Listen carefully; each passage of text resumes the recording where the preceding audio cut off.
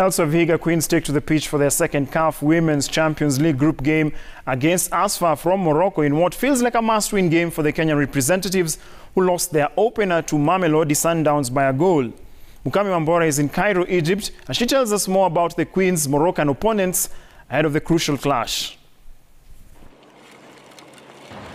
The story of Asfar Women's Club from Morocco is one of a patient and steady climb rewarded with unbridled success.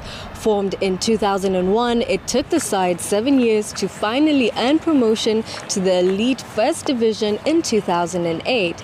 It took the side another four years to be crowned Moroccan champions in the 2012-2013 season.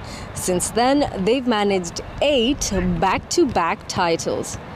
Their nickname, the Militaries, is apt in defining their club philosophy and style of play hard work, discipline, and teamwork.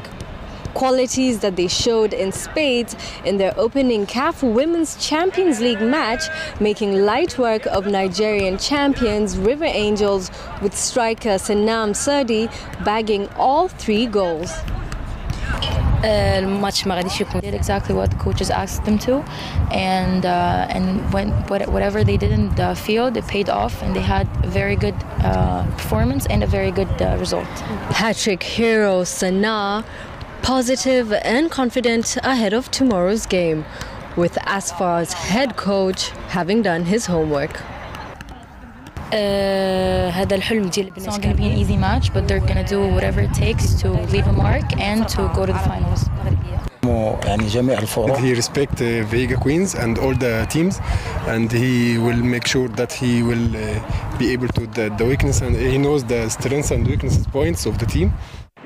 Vihiga Queens captain Enes Mango and her backline will have their work cut out, but the Vihiga Queens have plans in place to not only stop them, but to also overcome them. They are fast and we should not allow, we should win the second balls very quick. Because for us to win the game, we must attack and attack and attack. Because if we sit back deep in our half, then we are far from the opponent's goal. So for tomorrow's strategy, we are going to attack, attack, and attack. Asfar are no doubt a formidable side, but with Vihiga Queens having a history of succeeding when backed against the wall, a victory against the Moroccans is certainly on the cards.